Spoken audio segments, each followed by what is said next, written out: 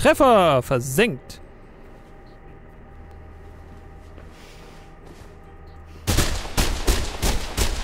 Nein, ich knalle erstmal den äh, letzten ab, der hier noch sein müsste.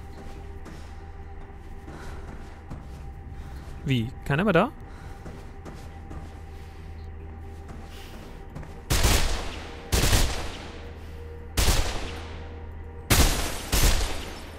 Oder kann ich bei jedem Block nur einen zerstören?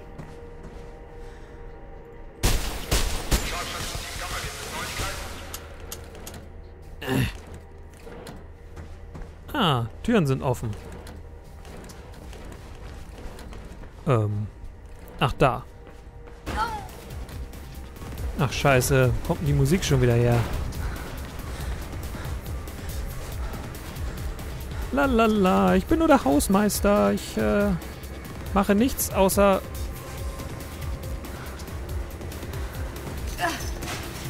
Ähm, ja, ich soll hier längs. Roof Access. Dachzugang.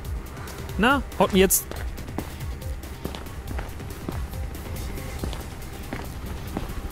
Ja, bislang haut mir keiner eine rein. Ich habe da so Angst bei Dachzugängen.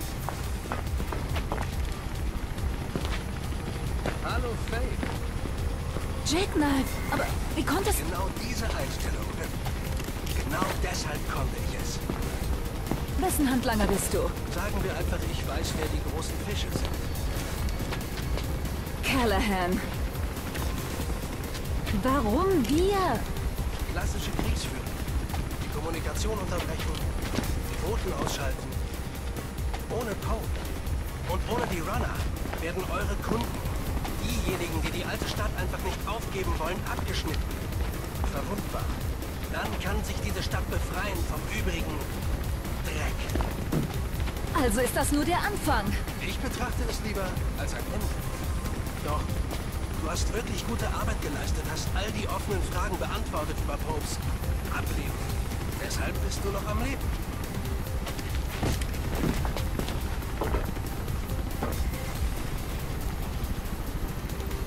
Du kannst nicht dein ganzes Leben am Rand verbringen. Früher oder später musst du springen, Faith.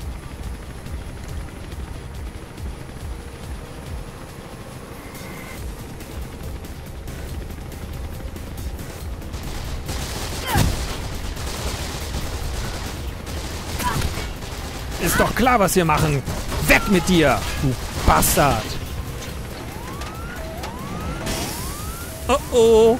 Scheiße.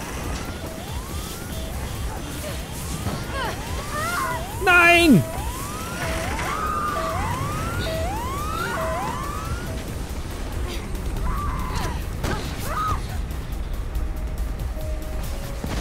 Oh, Alter. Komm her, Schwesterchen.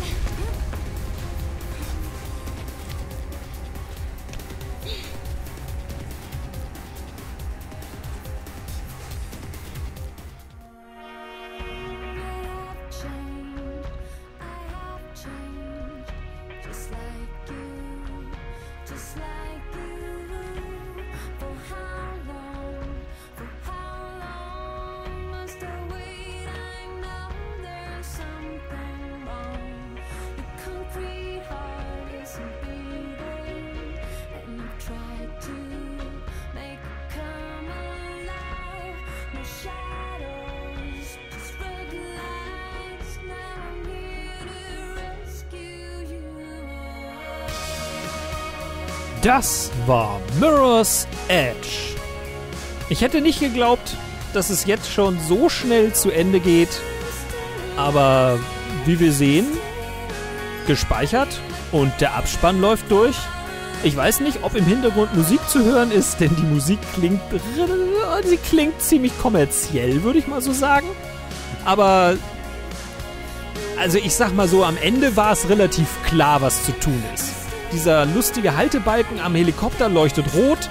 In dem Moment wusste ich, ah, ranspringen. Und sagen wir es mal so, dieser Dreckskerl, also echt, es hat ja noch nicht gereicht, dass er meine Schwester mit, also meine virtuelle Schwester, mit einer Waffe bedroht. Nein, er hat sie auch noch geschlagen und in den Hubschrauber geschmissen. Also, äh, sorry, aber da ist bei mir voll ausgetickt. Also ich bin eh, ich bin ja schon die ganze Zeit bei dem Spiel am Austicken, aber das war quasi so der, äh, der, der Mega-Austicker, wo, wo ich echt gedacht habe, so von wegen, du. Also, äh. Hau bloß ab. So im Sinne von, ich habe ihn ja aus dem Helikopter gekickt. Und im Hintergrund laufen äh, die weiteren äh, Mitarbeiter durch. Und wie wir dort sehen, äh, so Niklas äh, Estrand oder äh, Henrik Johansson, das sind Namen, die klingen nicht englisch, nicht äh, deutsch und auch nicht osteuropäisch. Nein, das Ganze klingt ziemlich nordisch. Ich weiß jetzt nicht, aus welchem Land das Spiel kommt. Schweden? Keine Ahnung. Das war jetzt nur geraten. Höchstwahrscheinlich ist oben kurz eine Einblendung drin, aus welchem Land das Spiel wirklich kommt. Denn ich muss hier weiterhin den, äh, den Abspannsong überquatschen, damit nicht irgendwie YouTube ankommt und sagt, du, du, du, du, du, hast aber böse Copyright-Musik verwendet. Obwohl ich das gar nicht wollte. Übrigens im Hintergrund äh, hier ähm, Quality Assurance und Third Party, irgendwelche, was, Writer und Co-Story Editor, äh, Designer. Rihanna Pratchett. Voice Actors, Faith, Kate. Das sind aber, glaube ich, die englischen Sprecher. Ähm, Mother Mocap Studios. Ach, Motion Capturing. 2D-Cutscenes. Die 2D-Cutscenes haben mir besonders gut gefallen, weil die so im Zeichentrickstil waren. Jetzt kommen hier die ganzen Nvidia-Mitarbeiter, die höchstwahrscheinlich dafür gesorgt haben, dass bei der Zoom-Optik eben quasi im äh, Ende des äh, Spiels das Haus nicht so stark flackert, wie es geflackert hat. Und äh, hier kommen die Mitarbeiter Ein von. grausamer terroristischer Anschlag auf die Scherbe hat neun Opfer und viele Verletzte gefordert. Ein Mitglied von Callahans Team sagte, dass ein Sicherheitsverstoß zu Stromausfällen in mehreren Systemen geführt hat, die dem Schutz der Öffentlichkeit dienen. Dies führte zu Chaos in der Scherbe und der ganzen übrigen Stadt. Die Verdächtigen sind die des Mordes angeklagte ehemalige CPF-Beamtin Kate Connors und ihre Schwester Faith Connors. Obwohl das ganze Ausmaß und der Grund für die Stromausfälle noch unklar sind, hat dieser Vorfall viele beunruhigende Fragen aufgeworfen. Welche Rolle spielen beispielsweise die sogenannten Runner bei der Destabilisierung des städtischen Betriebs? Als Reaktion auf den Vorfall wird das Sicherheitsunternehmen Pirandello Kruger die CPF bei der Bewachung der Stadt unterstützen. PK und das Büro des Bürgermeisters empfehlen den Bürgern außerdem, die Kommunikation über Handy und E-Mail aufgrund von Sicherheitslücken so lange einzuschränken, bis zusätzliche Sicherheitsmaßnahmen greifen. Der Aufenthaltsort der beiden Verdächtigen ist derzeit unbekannt. Okay, gut. Das war scheinbar eine kurze äh, Fernsehsprecher- oder Nachrichtenmeldung. Und im Hintergrund läuft auch immer noch dieser Song. Weswegen ich hier einfach so fröhlich weiterquatsche. Im, äh, ja, Im Abspann sehen wir jetzt äh, noch hier Quality Assurance. Oh, ist der Song vorbei? Ja, gut. Jetzt kommt wieder äh, eigene Musik von äh, Mirror's Edge. Da muss ich also nicht mehr so viel labern. Also, dann kann ich hier so äh, ups. So. Da war irgendwie ein kurzer Cut drin, denn Windows meinte mich unbedingt informieren zu müssen, dass äh, ich doch äh, ich doch die Updates installieren soll, die es gerade heruntergeladen hat. Und äh, ja. Ja. Ähm, Falls ihr übrigens nicht gesehen habt, dass da ein Schnitt war eben und ich trotzdem erzähle, dass da einer war, ich habe den Abspann einfach noch ein zweites Mal durchlaufen lassen, habe währenddessen dann nicht gequatscht, weil sonst könnte ich ja jetzt nicht sagen, oh hier, ähm, Lukas Richard. Oder ich sage Chance Shiflet, Richard Silver. Die äh, sind entweder schon oben rausgelaufen, die Namen, oder sie sind gerade unten erst reingekommen. QA kommt jetzt. UK Test Team. Blackbox Test Manager. Aha. Das ist scheinbar eine Firma. Na, auf jeden Fall hat Windows gemeint, ach ja, hier vier Stunden sind rum, äh, ich erinnere ihn mal wieder an Updates. Und deswegen äh, ist da, naja, deswegen ist der Abspann ein bisschen. Nee, ich quatsche hier über irgendein Thema, was ihr wahrscheinlich gar nicht gesehen habt.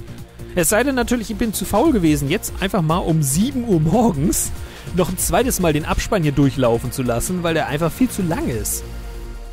Ja, wahrscheinlich habe ich so gemacht, der ist viel zu lang der Abspann. Hier, Tiburon Testteam. Hä? Also die Testteams hätten vielleicht mal hin und wieder darauf achten müssen, dass so Hänger, die ich hatte, ja, die hätte man eigentlich finden müssen als Testteam. Wo man dann irgendwie sagt, so von wegen, naja gut, okay, das ist ein bisschen, ich sag mal, ein bisschen undurchsichtig, so wo man da jetzt längs soll oder hier und da würde ich mal irgendwie sagen, so ja, okay, die Kämpfe gegen die Olle da, die uns verraten hat, wo ich zu Anfang schon, also als wir die das erste Mal gesehen haben, ganz zu Anfang, da saß die irgendwie neben uns auf der Couch und hat eine Pizza gefressen oder so. In dem Moment habe ich sofort gedacht, die ist verdächtig. Die ist verdächtig. Du, du bist bestimmt auch einer gewesen, der in dem Moment gesagt hat, die ist verdächtig. Der traue ich nicht. Die will uns verarschen. Die wird uns von hinten mit einem Messer und einem, was weiß ich, die wird uns von hinten mit einem Strick erstechen. Oder von hinten mit einem Zug erschießen. Ich habe übersteuert. Und äh, thank you. We would like to thank our friends and families for their overwhelming and continued support during the production of the game. Und jetzt kommen hier so äh, Thai House Wok. So im Sinne von, äh, wir, wir danken, bedanken uns bei unseren Babys, bei Familien, bei irgendwelchen Lieferdiensten. Äh, der Nachtwache. Bei der Nachtwache wird sich auch bedankt. Wahrscheinlich hat er immer lecker Stullen mitgebracht und dann konnte man tauschen. So, hey du, ich hab Schinken. Hast du Käse? Oh ja, lass mal tauschen. Und der Abspann ist vorbei. Und was kommt? Hauptmenü wird geladen. Ja, damit sage ich, äh, ja, wir sehen uns bei einem meiner anderen Let's Plays. Ich hoffe, ihr hattet genauso viel Spaß wie ich, auch wenn es einige sehr stressvolle Momente gab. So hatte ich doch unheimlich viel Bock bei dem Spiel, weil wenn es erstmal lief, dann lief es tatsächlich ziemlich flüssig und ich meine jetzt nicht auf Klo oder so, sondern was den Spielfluss angeht. Und ähm, ich zeige euch hier noch kurz so ein paar äh, Sachen, habe ich ja freigeschaltet. Zum Beispiel ähm, sieht man hier, äh, so sollte die Werte Faith eigentlich aussehen. Also sprich, äh, hier steht, sie hat als einfaches Gangmitglied, als einfaches Gangmitglied hat die Dame angefangen, bevor sie zur Heldin wurde. Also jetzt sieht man hier quasi, erst sollte sie so eine blonde Kurzhaarfrisur haben. Und dann haben sie entschlossen, so, ah, hey, verpassen wir doch irgendwie so einen komischen Rock oder so, so ein, und, und, und diese schwarze Frisur und dieses komische Augenpiercing. Piercing, Quatsch, Augenpiercing. dieses Augentattoo. Hier, das erste Bild von Faith. In diesem Moment wussten die äh, Macher, dass sie unsere, ihre Hauptdarstellerin gefunden hatten. Da sah sie noch ein bisschen anders aus, hatte so ein Pony ins Gesicht, so, naja, als Runner, du siehst ja überhaupt nichts. Das heißt, im Endeffekt beim Spiel hätten sie dann quasi so eine, so eine Fransenmatte ins, ins Bild retuschieren müssen. Und hier sieht man dann den finalen Entwurf. Also, wenn man mal vergleicht, die Hose ist anders, dieses gelbe Sticker-Ding auf dem Arm ist weg, die Tattoos haben sich ein bisschen geändert. Und äh, ihre Frisur und die Kopfhörer sind anders. Also hier ist ihre, hier sieht man ihr Auge nicht so, hier sieht man ihr Auge. Und hier äh, Kopfhörer weg. Und das erste Cover, eine verfeinerte Version des Originalentwurfs. Man kann sehr gut vergleichen, der Zielsucher auf der Waffe ist verschwunden, ihre Hände sind äh, definitiv detaillierter und ihr Fuß hat diesen natürlichen Knick, wenn man so irgendwo auftritt mit der Spitze. Also hier nicht, aber hier. Außerdem sieht die Haut realistischer aus und sie hat ein bisschen zugenommen am Bein, würde ich sagen. Weil hier sieht man, ist das, naja, so der Knöchel und so, der, das ganze. Naja, egal. Ich quatsche hier zu viel. Ähm, hier gibt's noch ein paar Details. Ach ja, apropos, da trug sie auch noch eine Waffe. In Wirklichkeit hier, der nächste Zeitschriftencover, es ist keine Waffe zu sehen. Diesen Coverentwurf habe ich tatsächlich sogar auf einer Zeitschrift gesehen. Und dachte mir, oh geil, das ist ein nettes Spiel. Aber ich habe es mir dann erst geholt, als es bei Humble Bundle mal im, äh, ich weiß gar nicht, ich glaube, das war ein EA Bundle, da war das mit dabei. Hier, sieht etwas eurasischer aus.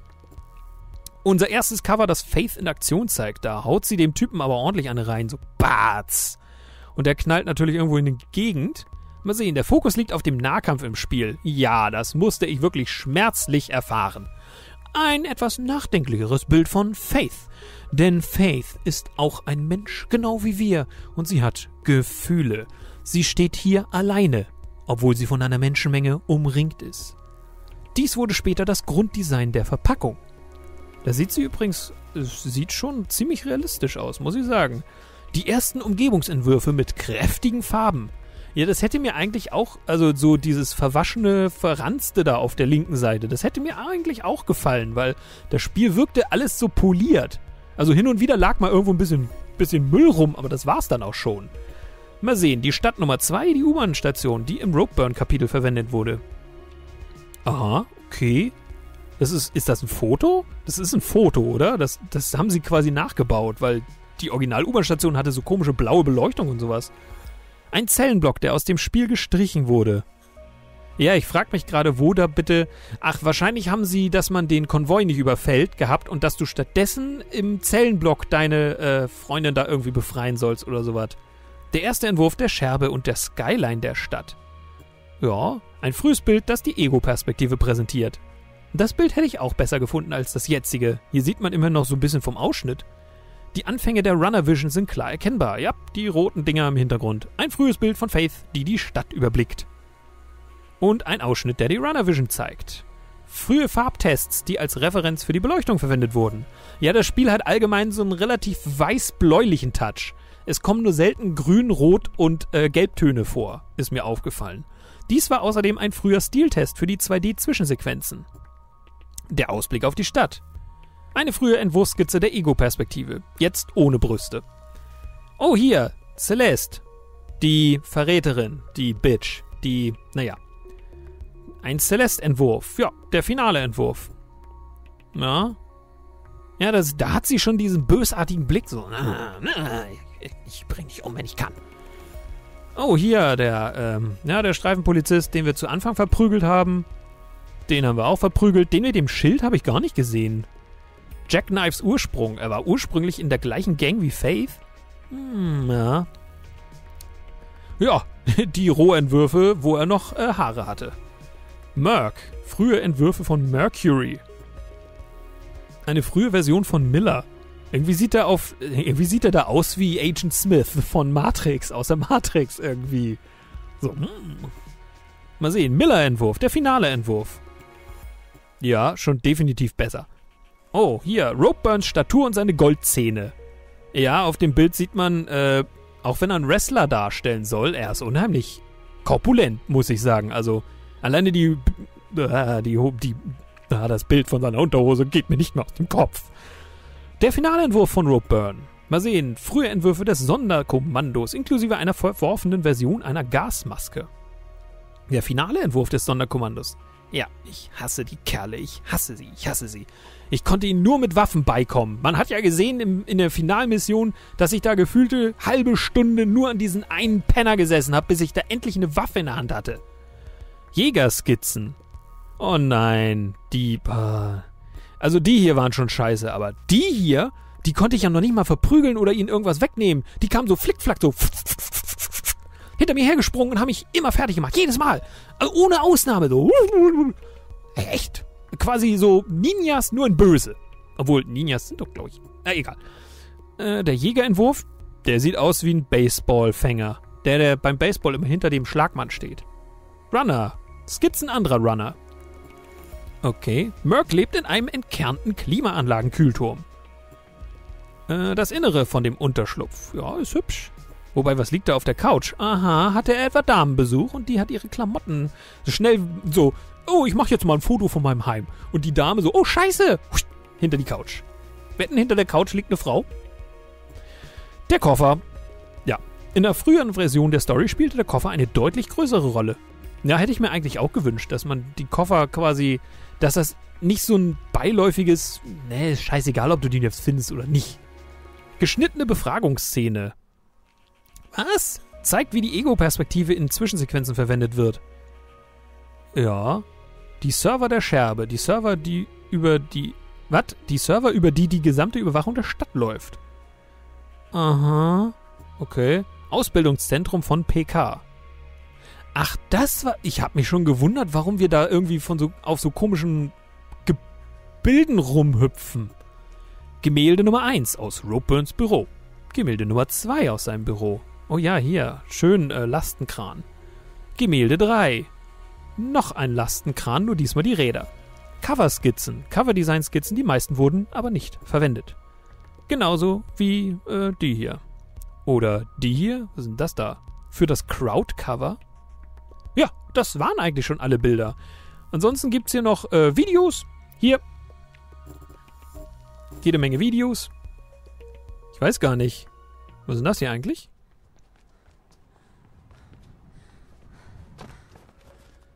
Okay. Das sieht aus wie die Anfangssequenz.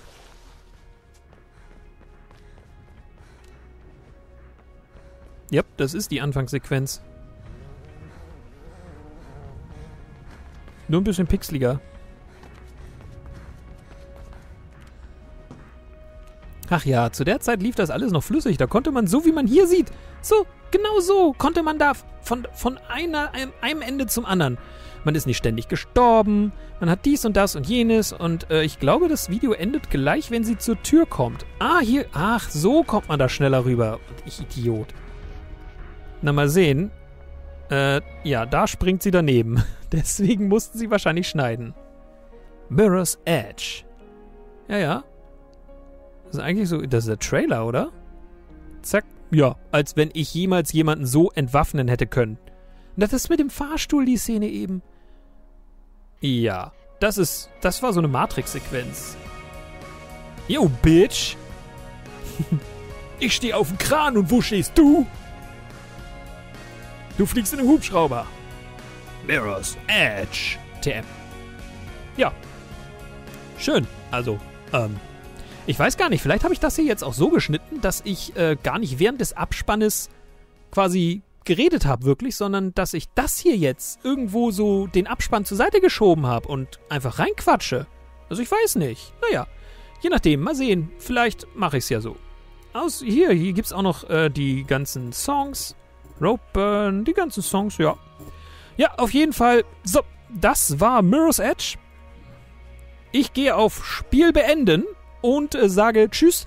Wir sehen uns dann bei einem meiner nächsten Let's Plays. Schaut auch mal in die, äh, auf die Kanalseite, da findet ihr alle Let's Plays schön ordentlich als Playlisten. Und ähm, ja, schaut meine anderen Let's Plays. Gebt mir einen Daumen nach oben, wenn euch das Ganze gefallen hat. Favorisiert oder abonniert mich. Und äh, ja, gut, das war's. Ich sage Tschüss und äh, wir sehen uns äh, mit Sicherheit in einem anderen Let's Play. Oder auch nicht. Ist eure Entscheidung. Tschüss.